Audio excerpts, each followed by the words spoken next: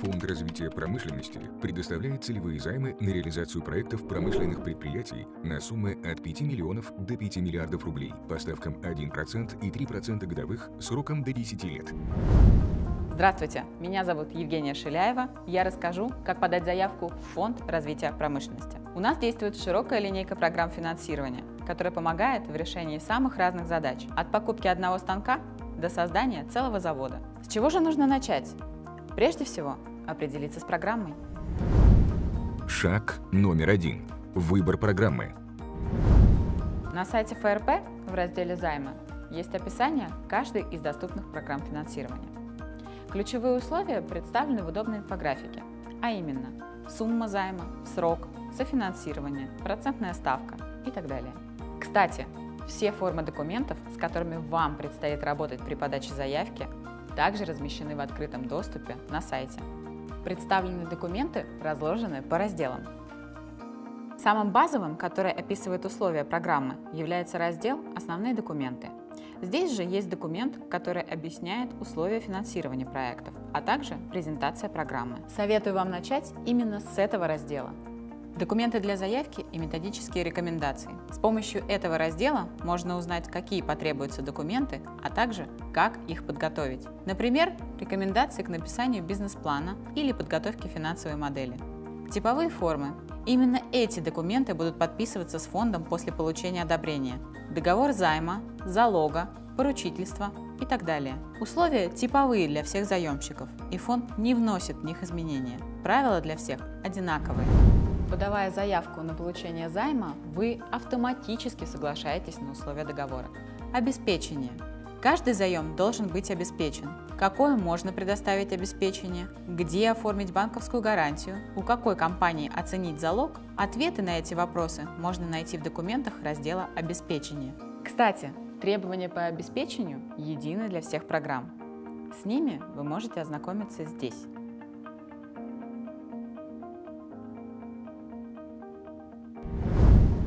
Шаг номер два. Подаем заявку онлайн.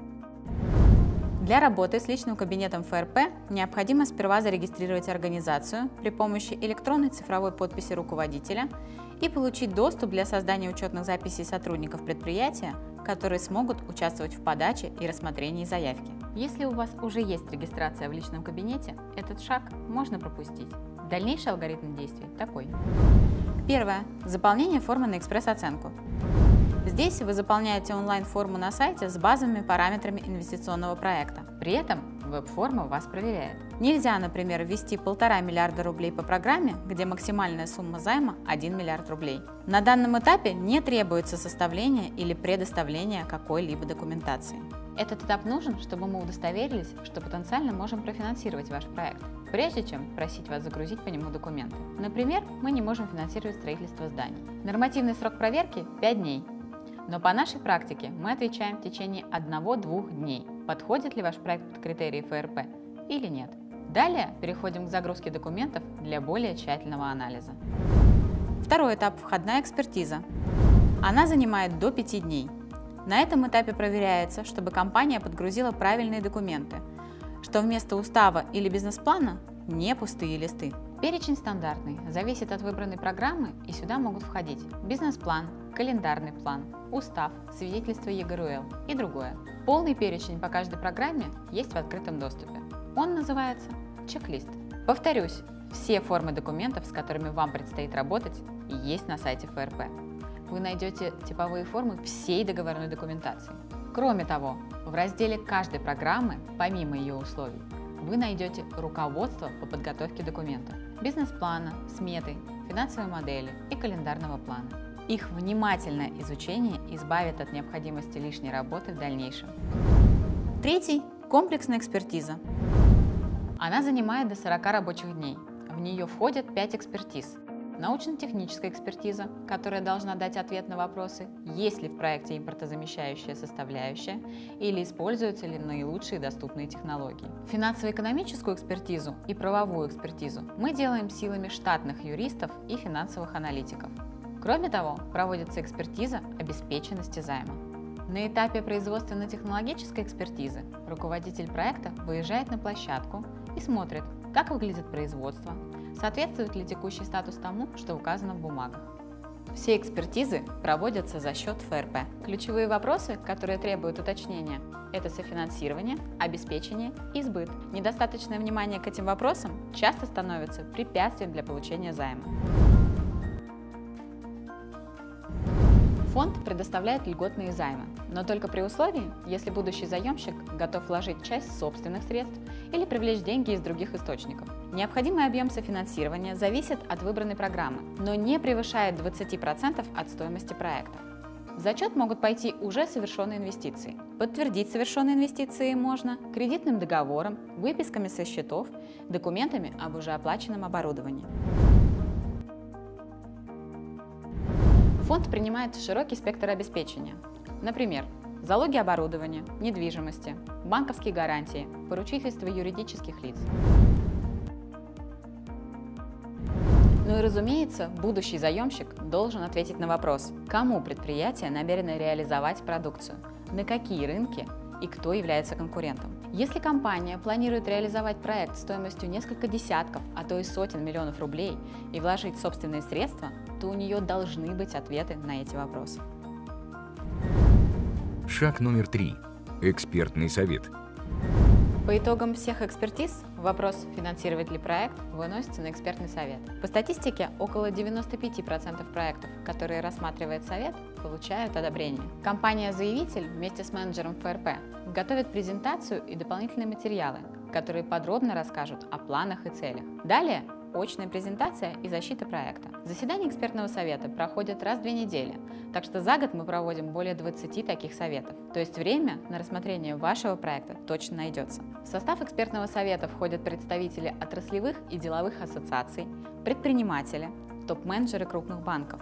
Нам удалось собрать сбалансированный состав независимых экспертов, которые принимают объективные решения. Советы к защите на экспертном совете – Представлять проект на экспертном совете лучше отправить глубоко погруженного в жизнь компании человека, чтобы быстро и точно отвечать на вопросы о содержании проекта и возможной его коррекции. В идеале владелец или топ-менеджер предприятия. Это сократит время коммуникации и позволит быстро принять решение. Наиболее частые вопросы членов экспертного совета связаны с финансовым состоянием предприятия, и политикой сбыта. Поэтому не лишним будет пригласить на представление проекта финансового или коммерческого директора. Если сумма займа более 950 миллионов рублей и в некоторых других случаях, проект выносится на рассмотрение наблюдательным советом. Его заседания проходят без приглашения заявителя. Шаг номер 4. Подписание договора займа. Течение двух дней после экспертного совета с вами свяжется сотрудник фонда, ответственный за подписание договора. Он станет вашим провожатым по процедуре подписания. Для вашего удобства он пришлет список действий, которые необходимо предпринять, и список документов, которые необходимо предоставить на проверку в фонд перед подписанием договора займа. Этот список тот самый чек-лист, о котором мы говорили ранее, структурированный непосредственно под вашу сделку и вашу компанию. Если на предыдущих этапах нам достаточно было документов в электронном виде, то именно на этапе подписания договора фонд нужно предоставить оригиналы документов, оформленные соответствующим образом. Перед подписанием договора займа мы попросим вас загрузить недостающую часть документов в личный кабинет. Общий список документов и все необходимые типовые формы вы сможете найти заранее на сайте фонда по ссылке. Фонд готов предоставить деньги в течение недели после одобрения проекта экспертным советом. Но практика показывает, что к этому не всегда готов сам заявитель. Процесс может затянуться на несколько месяцев. Давайте разберемся, почему и как этого избежать. У акционерных обществ получение займа у фонда или предоставление обеспечения требует корпоративных одобрений участников сделки. Если так, то имеет смысл начать корпоративную процедуру сразу после экспертного совета. Она, как правило, требует времени. Пожалуйста, согласуйте с фондом формулировку проекта решения, который выносится на корпоративное одобрение до него, а не после. Для получения средств займа должен быть открыт отдельный банковский расчетный счет, который необходимо подключить к системе акцепта платежей. Учитывая, что в данном вопросе в цепочку встроена третья сторона, банк, то лучше заняться открытием счета заранее, а не за несколько дней до подписания.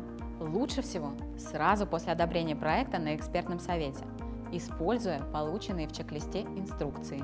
Также следует обратить внимание, что экспертный совет при одобрении займа может добавить отлагательные условия.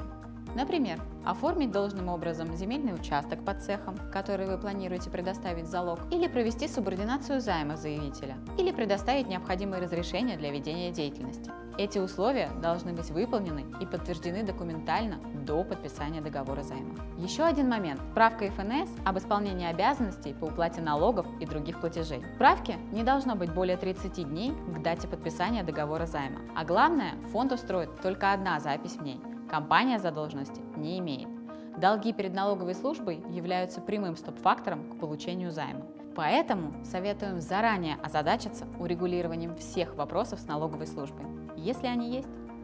Помимо чек-листа, менеджер ФРП пришлет вам предзаполненный договор займа по нашей типовой форме. Типовая значит, что правки в него внести нельзя.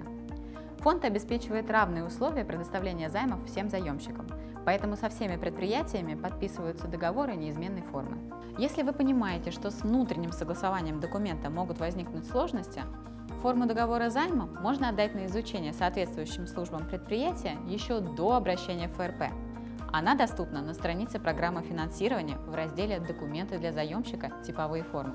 Все готово можно подписывать договор займа. Для этого участникам сделки, заемщику, поручителю, залогодателю необходимо приехать в офис Фонда развития промышленности по адресу Москва, Лялин переулок 6, строение 1. Поздравляем!